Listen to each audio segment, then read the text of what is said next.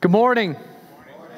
Welcome, as Lori said, welcome to Providence United Methodist Church. Welcome to this service, The Net. My name is Casey Crimmins, and we're so uh, glad, we're so excited to have you with us this morning. It's the beginning of Advent.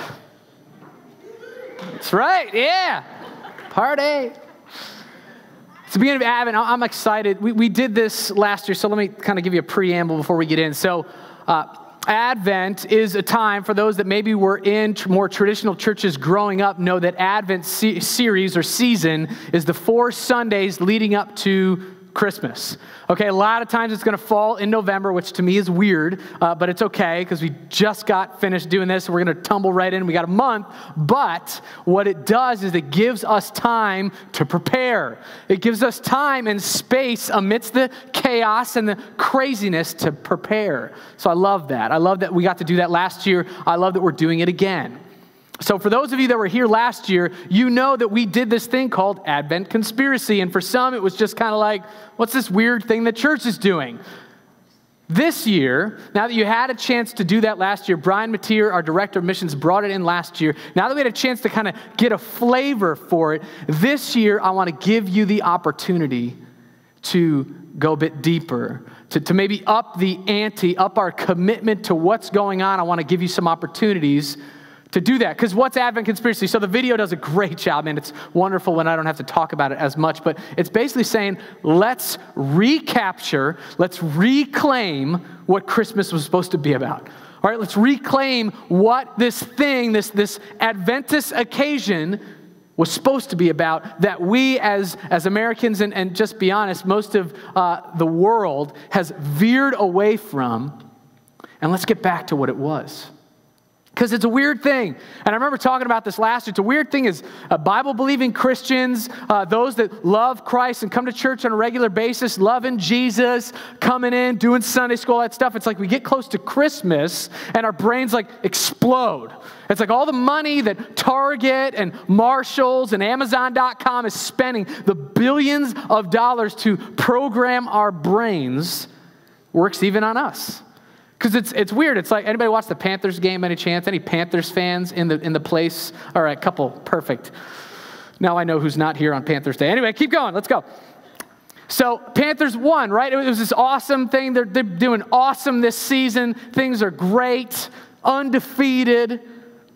But it's a weird thing. It's, it's like Christmas is like if everybody on the planet, for the most part, became a Panthers fan all of a sudden. And like they're wearing blue, and Cam Newton, yeah, we love that guy, singing songs about him. And you're like, you know who Cam Newton is? This is all, yeah. We're all like, on, for a month, it's like that's what happens. We're all wearing the same colors, we're all singing the same songs, we're all talking about the same thing.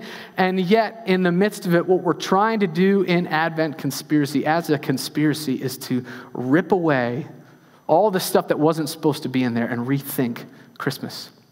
So, a couple ways that uh, we're going to ask you, I'm going to allow you, I'm going to invite you to be a part of this with us this year. Uh, there's two major ways. One, uh, next week, it's not this week because I knew no one would be ready for it, but just start to think and prepare your heart. Next week, in the welcome pad, will be uh, commitment cards.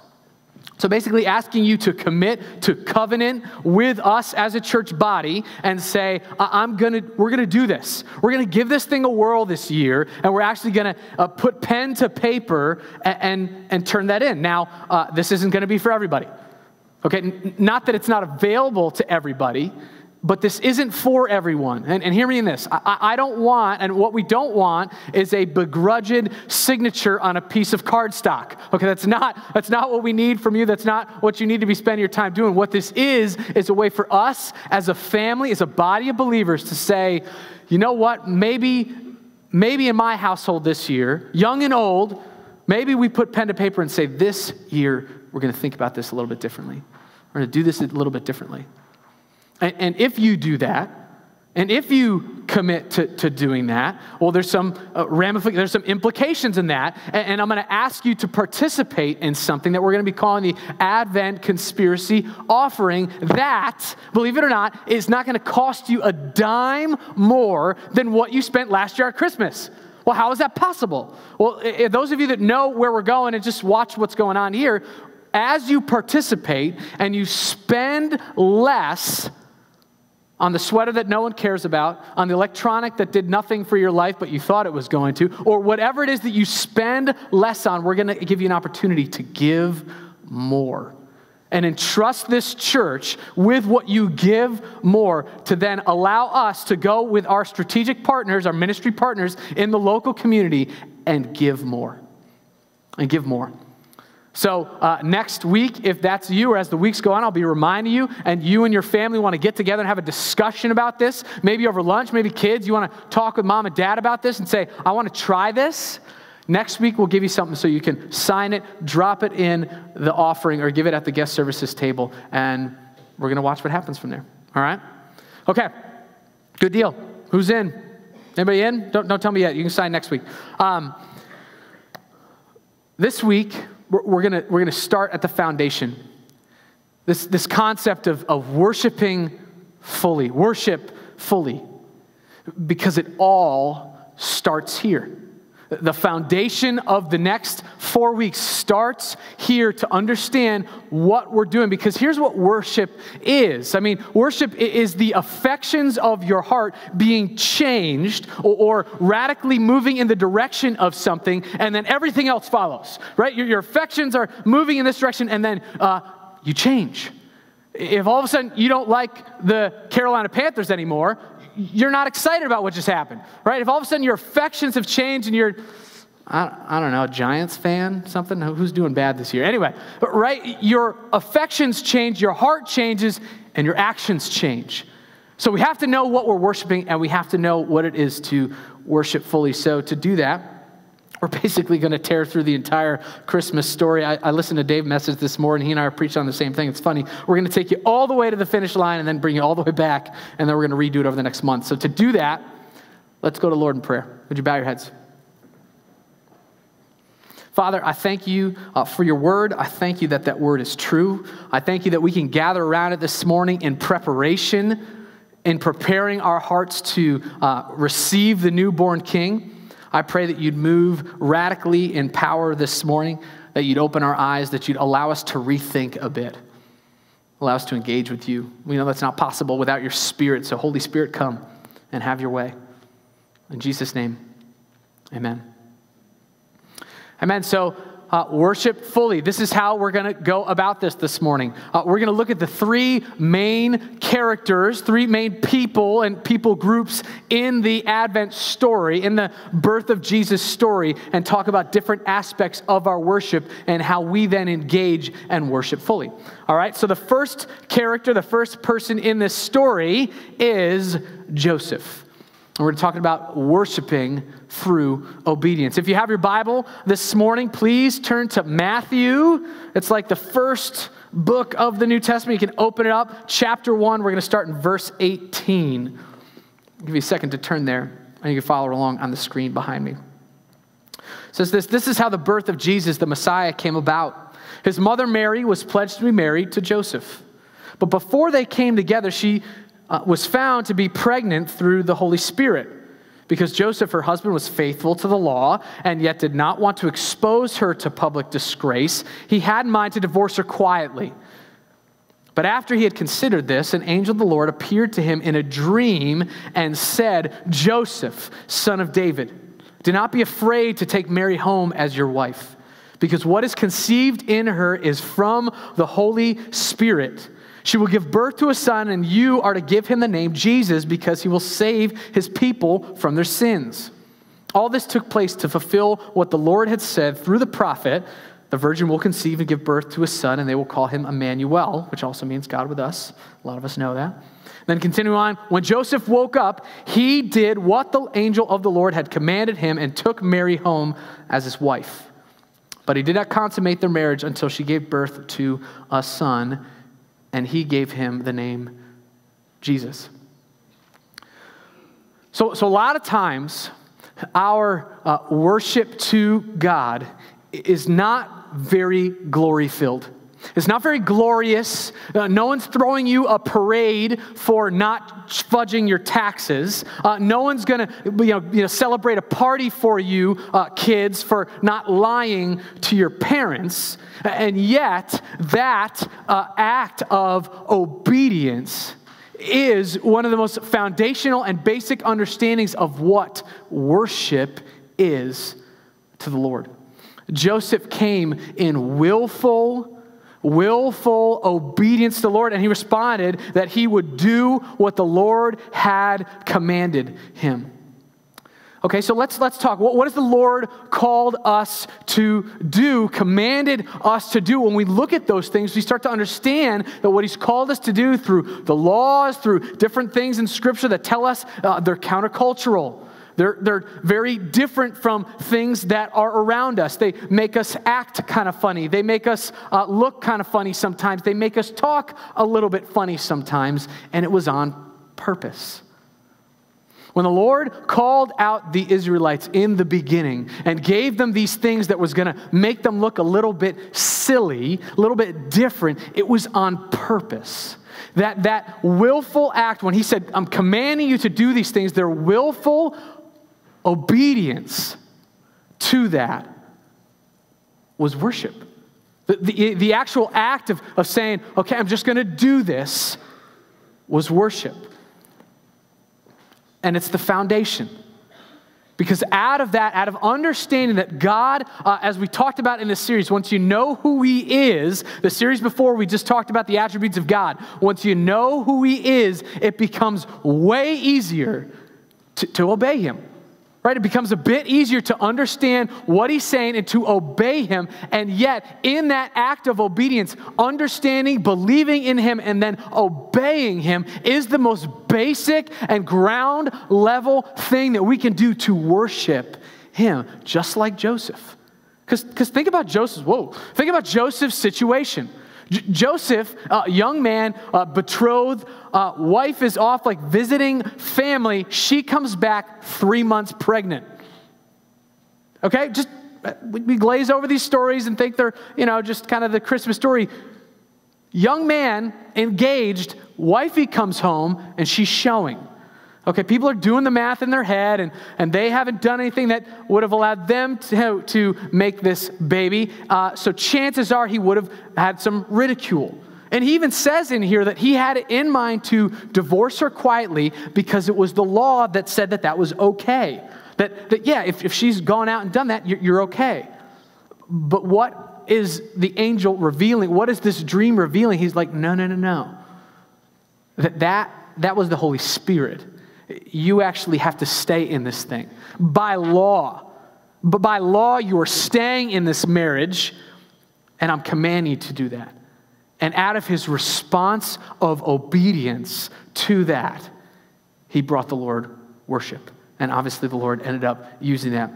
We, uh, if you look at 1 Samuel 5.22, it's not going to be up there, but just as I was studying, uh, something that just is, is huge for us to get that the uh, heart issue and the, the brain issue around this is, is, is huge. 1 samuel 5.22 uh, a prophetic word given to the israelites as they're coming into the promised land and man they're getting kind of skewed uh, says does the lord delight in burnt offerings and sacrifices as much as in obeying the lord? To obey is better than sacrifice. Why well, because when you're obeying, when you're willfully obeying what He's commanded you, well, then everything starts to kind of, there are outshoots of that, there are outcrops of that. If you are simply coming and begrudgingly sacrificing, and we're going to talk about that sacrificial system in a second, if you're just sacrificing out of begrudgingness, the Lord's saying that's meaningless to me, and that your obedience is what is worship. So that was Joseph. Uh, second one we're going to talk about is Mary. If you have your Bible, uh, Luke, again, first chapter in there, we're going to be talking about these stories. So if you, if you love hearing the Bible stories about uh, Jesus being birthed, you're going to love the rest of this morning because we're going to basically talk about all of them. So Luke 1 26. In the sixth month of Elizabeth's pregnancy, God sent the angel Gabriel to Nazareth, a town in Galilee to a virgin pledged to be married to a man named Joseph, a descendant of David. The virgin's name was Mary. The angel went to her and said, Greetings, you who are highly favored, the Lord is with you. Mary was greatly troubled at his words and wondered what kind of greeting this might be. But the angel said to her, Do not be afraid, Mary. You have found favor with God. You will conceive and give birth to a son, and you are to call him Jesus. He will be great and will be called the Son of the Most High. The Lord God will give him the throne of his father David, and he will reign over Jacob's descendants forever. His kingdom will never end. Mary's response I am the Lord's servant, Mary answered. May your word to me be fulfilled. Then the angel left. Okay, so we talked about uh, obedience. And, now we're talking about submission. And I want to pair these things uh, slightly apart because they, they, they, are very in tangent sometimes, but uh, definitely apart. I want to read you a quote from Dave's sermon this morning. It's just so good I had to say it. Um, the two are related but different. Obedience is an outward action, while submission is an inward attitude. Okay, so there's the obedience to the law, the, the commands, the decrees. Submission is like next level type stuff. It's like next level where you're going, okay, like I get what you're actually calling me to do, I get what you're saying to do, like the laws. Submission is the next level of, okay, like the nuances of life. The nuances, not the things that God said, don't do this or do this, but the nuances of life and what you're going to wrap your life around out of and from that obedience. God had a design uh, for us. He then had uh, a uh, purpose and plans for us. Some of us know the verse, for I know the plans for you. They're good plans to prosper you, all those things. There's plans. Uh, the design that He had for us is found in His laws.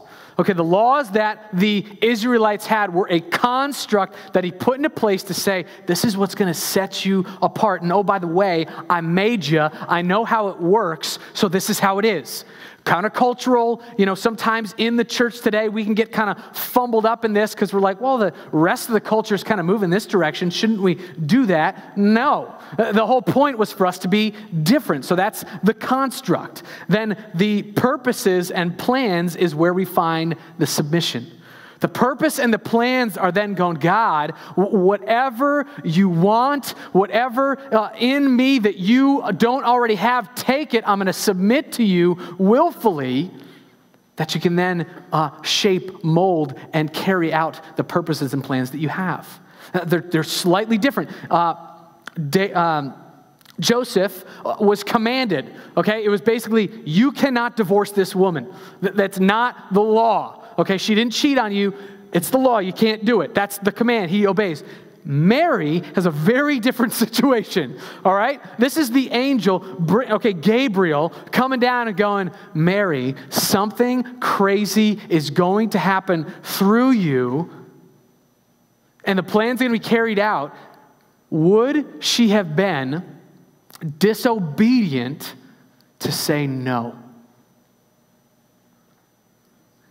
Would she have gone against the laws and decrees of the land if she said, you know, Gabriel, may, maybe next door, Kathy, uh, she might be a better, uh, she's a mom already and kind of knows what she, like, like, she could have done that, would not have gone against the law. Yet what do we see? Her response. Yes, Lord. Yeah. May it be as you've said. May what you're talking about come to fruition. It ain't going to be easy. I don't know how I'm going to explain this to uh, my, my dear love Joseph. I don't know if he's going to believe me that an angel came, let alone like the archangel Gabriel. Uh, but whatever your will, whatever your plans, I'm going to submit to them. And this is, this is where it gets like nuanced because then you go, well, what does that mean? Like, how do I find that out? Because I can look at the laws, I can look at the, the decrees of God, I can flip that thing open and, and pretty much kind of jump in, but, but how do I know what God's calling me to outside of that? Because when you, when you submit to that, it's worship again to, to the next level, because now it's all the fringe stuff. Okay? Uh, some of you know that we made kind of a vocational change over the last year and a half. That, God wouldn't have said, you're, you're disobedient and, hey, you're breaking my commands if I didn't. But I said, I, I, I don't know, Lord, like whatever, whatever you want. You know, some of us get like inklings in us. Some of us have friends that like put things out there for us. Some of us read scripture and are stirred in our hearts. We're like, Lord, I know I'm not like disobedient to your law by not doing this, but man, what, what are you doing? And it's like obedience. Obedience is like the training ground for that.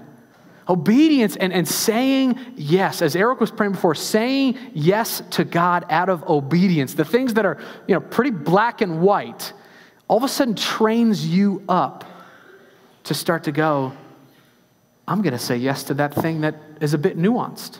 I'm going to I'm going to listen, I'm going to actively engage with the Lord and the things around me and, and find that and say yes. Because when we are in a position, when we are postured in a position of yes, Lord, yes, Lord, okay, yes, Lord when that thing tumbles forward, when that big life change event or that small nuanced decision comes your way, you're now postured to continue in worship and to take it to the level of submission. That's what Mary was called to do. Had to fully trust, had to fully engage. And because she was already postured in that position, it was easy. I don't, I don't know if I could say it was easy, let's be honest. I don't know if it was easy. But it's recorded that she said, Yeah, Lord, whatever you want, it's yours. The last characters we're going to visit so, uh, obedience, Joseph, submission, Mary. The last characters in here are the, the Magi, or uh, wise men, kings, talked about different ways. Matthew 2 is going to be the first 11 verses. If you got your Bible, crack it back open, just keep turning. Matthew, Mark, Luke. Matthew 2. After Jesus was born in Bethlehem in Judea, during the time of King Herod, Magi from the east came to Jerusalem and asked, Where's the one who's been born King of the Jews? We saw his star when it rose and have come to worship him. When King Herod heard that he was uh, heard this, he was disturbed. Uh, and let, let, me just tell you so King Herod is kind of going, man, I'm the king. Why, why do you think there needs to be another king? So that's why he's a, a bit disturbed, a little perturbed. He's like a maniacal sociopath from everything that we understand. He was very like power hungry. And so he's got these magi saying some stuff to him. He's going, okay, well, actually, let's see what he says. When Herod heard this, he was disturbed, and all Jerusalem with him. When he had called together all the people's chief priests and teachers of the law, he asked them where the Messiah was to be born. In Bethlehem, in Judea, they replied, For this is what the prophet has written. But you, Bethlehem, in the land of Judah, are by no means least among the rulers of Judah, for out of you will come a ruler who will shepherd my people Israel. They're, they're just quoting some Old Testament prophet stuff. So this is them saying, we, have been hearing about this for uh, hundreds of years. Uh, we know where he is. They, they tell that to him. Then Herod called the Magi secretly and found out from them the exact time the star had appeared. He sent them to Bethlehem and said, Go and search carefully for the child. As soon as you find him, report to me so that I too may go and worship him. Uh, that's a bold faced lie. Okay, kiddos, this, this is a lying king, not so. Not so good, okay? So just know that. He was lying. He had no intention of doing good things. In fact, later he ordered that all the children that time to be slaughtered. So this guy's not good. Anyway, after they'd heard this, they went on their way, and the star uh, they had seen, when it rose, went ahead of them until it stopped over the place where the child was. When they saw the star, they were overjoyed. On coming to the house, they saw the child with his mother Mary, and they bowed down and worshiped him. Then they opened their treasures and presented him with gifts of gold, frankincense, and myrrh. Um, I, I don't want to rain on anyone's parade, just real quick for a second. Um, when we set up our nativity scene and, and we have the three wise men, we do too, uh, it's probably not incredibly historically accurate. Okay, they, they probably traveled for months uh, to try to get where they were going, rising uh, from where they were coming. I'm going to talk about in a second to get there. They came later. It even says that they went to their house. Uh, so, kind of a different story. Magi, as we uh, may or may not understand, magi, where we get magician, uh, they aren't necessarily the ones that are performing tricks, but they were super high officials. Uh, we see in the Old Testament, uh, in Daniel, uh, the, the position of magi was like basically counsel to the king. Uh, so, very important guys, and they're traveling all the way uh, here. And, and their sacrifice, what they brought to the table, or their uh, worship was sacrifice. And they did it in three uh, big kind of buckets uh, of, of how they brought worship. So they see something and they're responding to it. There's a star in the sky. They know what that means. And, and they go and they, they bring three types of sacrifice. One is their time. As I said, uh, it probably took them months. The reason I know that or, or can infer that is that chances are uh, they probably were from either Babylon or uh, if, if, if, it was really extreme, like India or the Asia area, chances are Babylon, which uh, the journey from Babylon to Jerusalem was some like 800 miles, 750 to 800 miles to, to get there. That they're traveling on camel. Okay, they, they see response, they jump on their camels and they make their way there. And then once they get there, then they have to go to Bethlehem. So they gave time. They said, What's going on right now? The thing that, that was prophesied, the thing that's going on out there is worth our time to go check it out in worship. As a response in worship, that as their heart's affections were drawn to this thing, they gave their time. Next, sacrificially, they gave their talents. And, and I know this seems kind of silly because uh, we talk about time, talents, and then like we put the sub content like money. Uh, but with time, talents, uh, like I said, they're like high officials. They're, they're, they're people giving advice to the king. It, this might be a horrible example, but I'm going to say it anyway. It'd be like if Biden was like, hey, Barack, man, I'm gonna, I saw a star. I'm going to take off two months. I'll be back, actually, two months, then the trip back at whatever time. Okay, I'm to be gone for six months. Let me know if you need anything. I don't have a cell phone. Never mind. Don't tell. I'm just leaving. Like that, that's kind of crudely what, what it'd be. They left and, and took with them the usefulness that they had where they were because what they were going to worship was worth it. That the time to get there, as well as the kind of opportunity cost of what they would have been doing while they were back uh, serving that king, was worth it to them. They said, that's, that's what we're bringing, that's what we're sacrificing and bringing to the table. But what else? They brought their treasures. Right? They didn't, they didn't like saddle up in Babylon, uh, make the way out, travel that entire way months, and finally get there, and they're like, hey, this is great. Thanks, man. I'm out. Like, they, didn't come empty handed. They didn't come to the King of Kings and Lord of Lords, the one prophesied for hundreds of years, uh, waiting in expectation for this new king. They didn't come to him and go, "Hey, this was really great, man. Great house. This is I'm gonna I'm gonna." Have. No, they brought something. They brought things of value. And, and what's cool with these things, if, if you research it, if you get a little bit deeper, you realize each of the gifts kind of had a prophetic uh, meaning, but also like a really just just meaningful, uh, uh, uh, what you just want to give to somebody, a necessity. So let's look at let's look at gold. Okay, gold is usually a present for a king. Pro- prophetically saying that this baby, this month, two, three month old baby, is one day going to be a king. So, so here, here's gold, represent that. It's also really useful if you're a new parent to be given a bunch of money right? That's, that's something useful that you might need at some point. Maybe you buy baby Jesus some nice diapers or something. I don't know what they made him out, right? Like, that's really useful. The second thing, frankincense. Uh, the prophetic aspect of this is that frankincense was usually burned, usually an incense, kind of the rising prayers of the saints. This was usually a priestly thing, prophetically speaking to the fact that Jesus one day would be the high priest, the one that would intercede on our behalf, seated at the right hand, up there doing his thing. Prophetically, he's three months old, and they're giving him that, like, yes, the priest to come. But also, really useful. Anybody heard of essential oils ever? Essential oil. Come on, don't be, don't be shy about it. It's okay. Yeah, okay. Thank you, ladies.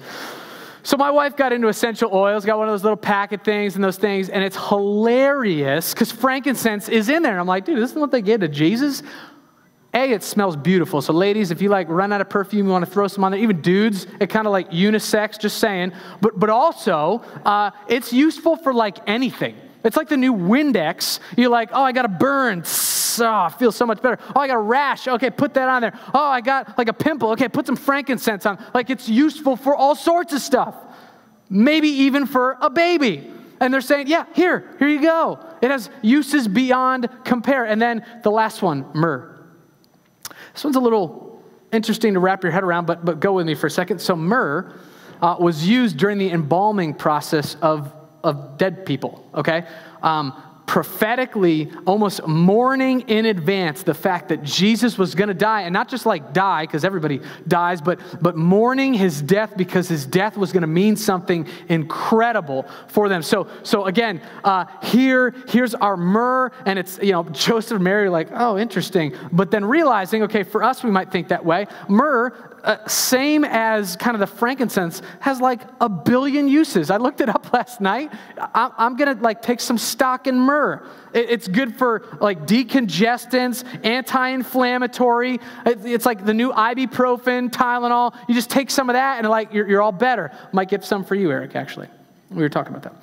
So so again, might be useful might be like really useful for parents to go, oh, thank you, uh, we need this, but, but that. And the reason I'm, uh, I'm bringing us through all this is that uh, when you start at the top layer, when you start at the top layer with, with obedience and this, this yes to God, this willful, okay, yes, like I understand your commands, and then you move on to uh, the next layer, which is that kind of up in the ante of submission, that inward uh, bowing down and saying, yeah, like I get it. Uh, Usually that submission, usually that submission is going to require sacrifice.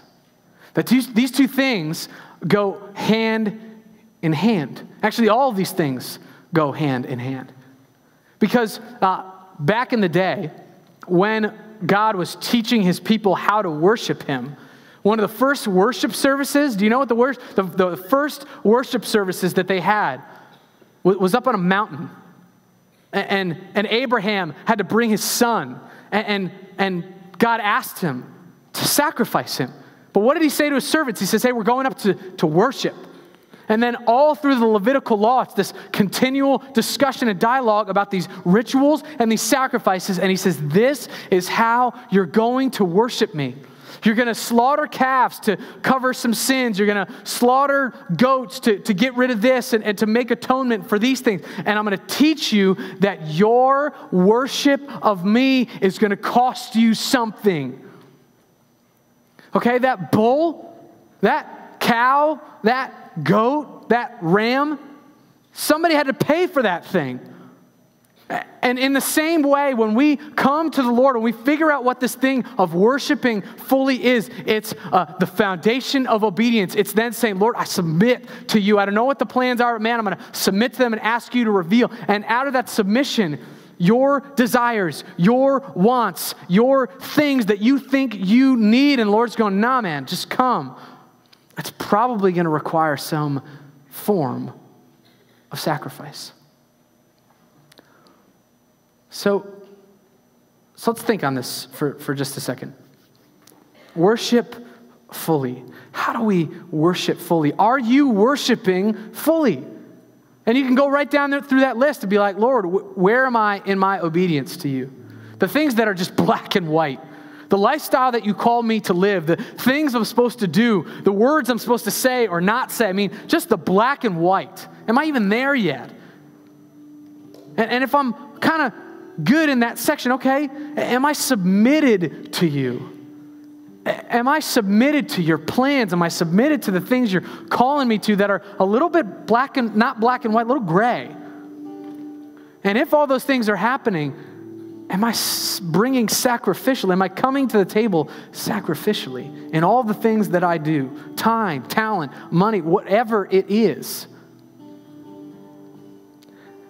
And maybe the, the, the proper question as we uh, head out, as we start this season, as we contemplate these things, because again, we, we got to get the worship fully right. Maybe the question is are we worshiping something else? Is there something else that's taking those things? Again, worship comes out of a heart of affection. Is there something in our life so alluring, so drawing of our affection that our, our time, our talents, our finance, our resources are being channeled in a direction? And then we're going, yeah, and I'll just give the leftovers to the King of Kings and Lord of Lords. I'll, I'll, I'll drop something in there.